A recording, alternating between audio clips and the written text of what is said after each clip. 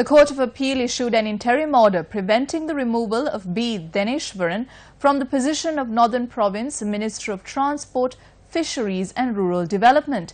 The order was issued after an appeal against the removal of B. Deneshwaran from his portfolio was considered before the Court of Appeal.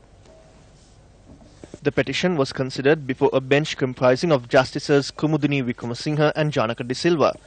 B. Deneshwaran was removed from his portfolio of Northern Province Minister of Transport, Fisheries and Rural Development in August 2017. The petition will be taken up again on the 9th of next month.